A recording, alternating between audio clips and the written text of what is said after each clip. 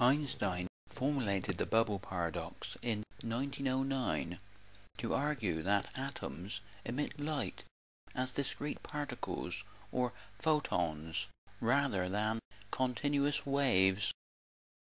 In classical electromagnetic theory, an atom should emit radiation as a wave in a growing sphere, spreading out in every direction like an inflating soap bubble.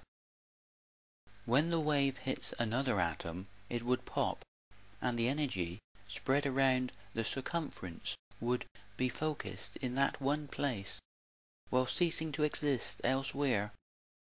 That would be a non-local process, or what Einstein called spooky action at a distance. In other words, how would the distant parts of the bubble know that they should cease propagating outwards. Einstein believed it would make more sense to say that the first atom emits a particle, or photon, in the direction of the second atom. Later Einstein extended the bubble paradox from light waves to the quantum wave particle function of quantum mechanics. Mainstream physics has no explanation for such an event. If light is a wave that acts as a particle, when it is absorbed and emitted by an atom, the bubble would expand at the speed of light, so any communication between the opposite sides would have to occur faster than light. The great thing about the bubble paradox is that it is easy to visualize and comprehend, and in many ways the complex paradoxes of quantum mechanics, like non-locality, quantum entanglement, superposition, and the measurement problem, are all based on this simple little bubble paradox. The great divide between classical physics and quantum mechanics is highlighted very well in this paradox. But the two, classical physics and quantum mechanics, can be explained as part of one universal and continuous process of energy exchange. I will explain this using the bubble paradox. In mainstream physics, the photon forms a movement of positive and negative charge with the continuous flow of electromagnetic fields in our three-dimensional space. In the bubble paradox, this charge is relative to the first atom.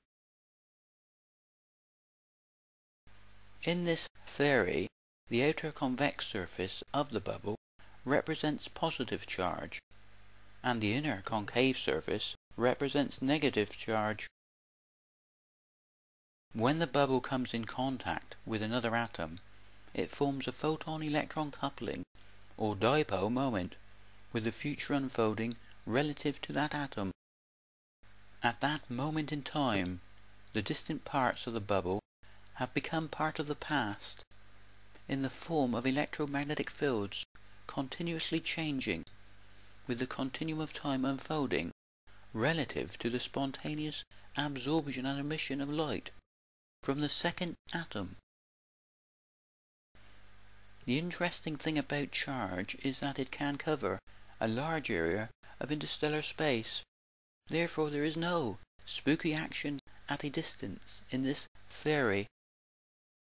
This is totally logical if space and time are properties of quanta, with each photon oscillation only occurring once, forming a probabilistic future relative to the atoms of the periodic table and the wavelength of the electromagnetic spectrum. The future is continuously unfolding with the wave-particle duality of light and matter in the form of electrons, forming an interactive process, or what I like to call a blank canvas that we can interact with, forming the possible into the actual. The future only exists as a probability wave function, and the past has gone forever within a process of continuous energy exchange. that forms the ever-changing world of our everyday life. It may seem far-fetched to say that the spontaneous absorption and emission of photon energy forms a universal process of energy exchange that we measure as a period of time. But it is logical when you think there is no flow or concept of time in the subatomic world within the atoms. Only the distribution of positive and negative charge.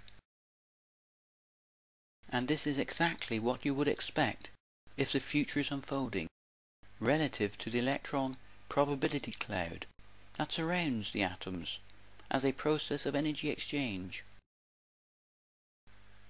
Whenever the atoms touch, it is charge that makes contact. Also, whenever the atoms bond and break, there is an exchange of photon energy with the movement of charge.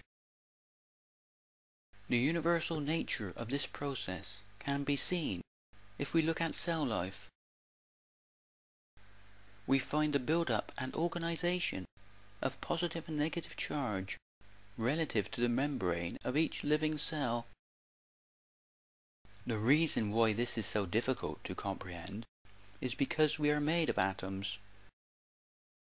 Therefore, we can never measure this process over a period of time as we would with water bubbles forming and popping. This forms the great divide between classical physics representing processes over a period of time, as in Newton's differential equations, and quantum mechanics representing the passage of time with probability built into the process. In the bubble paradox, we only have particle characteristics in the moment of now when we have the absorption and emission of light.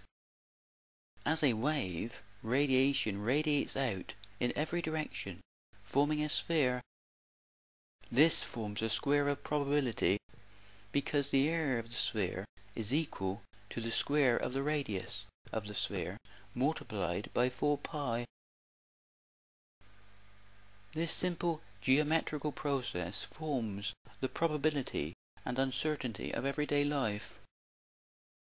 With Heisenberg's uncertainty principle representing the same uncertainty we have with any future event at the smallest scale of a universal process. Within such a process, each photon-electron interaction has perfect symmetry between the future and the past, in the form of matter and antimatter, with antimatter annihilation representing the past, disappearing as the future unfolds, relative to each new photon oscillation or vibration. Thanks for watching. Please subscribe and share. It will help the promotion of this theory.